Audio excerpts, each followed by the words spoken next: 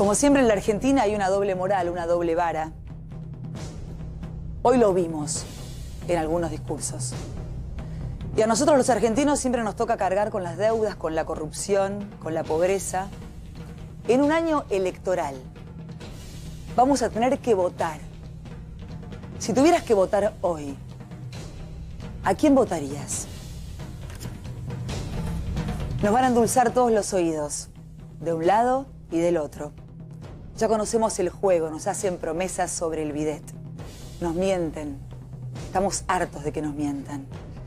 La realidad es que ya hay argentinos de primera, de segunda, de tercera y de cuarta categoría. ¿Se acuerdan cuando le pedí la renuncia a Ginés en plena pandemia? Fue el 23 de julio del 2020.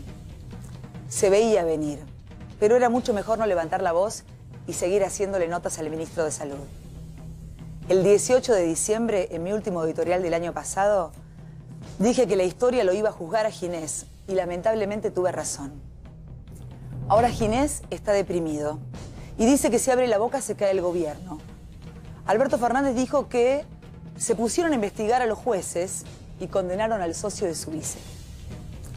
Después de verlo hoy al presidente, siento que era mucho más creíble cuando estaba en televisión trabajando como ex jefe de gabinete indignado.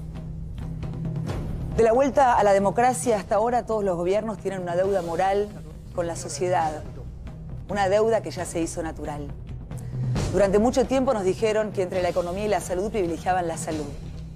Pero bueno, nos demostraron y quedó claro que no les importaron ninguna de las dos cosas. Los infectólogos que se indignaban con los runners no aparecieron. Los quiero escuchar hablando de las vacunas y de los vacunados VIP. Me quedó claro que cuando decían que iban a cuidar la salud se trataba solo de la salud de ellos, no de la nuestra. El director del Posadas no renunció. Bisotti dice que el vacunatorio VIP no existió entonces porque se fue Ginés. Los viejos se mueren por coronavirus, pero el gobierno vacuna a la secretaria de Guzmán y el hijo de Moyano. Doble moral, doble vara. Ellos son la clase superior y vos laburás como un dolou todo el día para pagárselas a ellos. Nos siguen pegando la torta de crema en la cara. En medio de todo esto, Macri sigue sacando tweets y la oposición comunicados para decir que están en contra del gobierno, siempre más de lo mismo. La oposición por momentos parece ese flan barato de cajita sin huevos que no tiene sabor a casi nada. Los hospitales revientan de pedidos de abortos. Los jubilados se mueren de hambre y no llegan a fin de mes. Todos los días desaparecen empresas porque los impuestos son asfixiantes.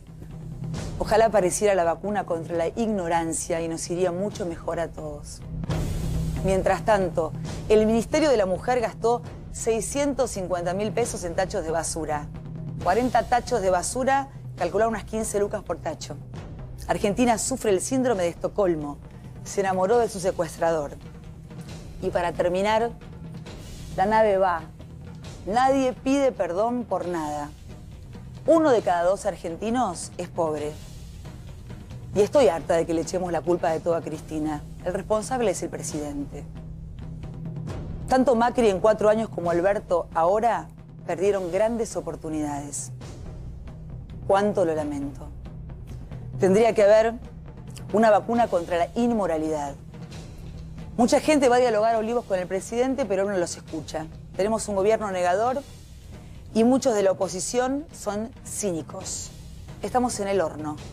Mientras tanto, el Papa Francisco dice que va a morir en Roma y que a la Argentina no vuelve.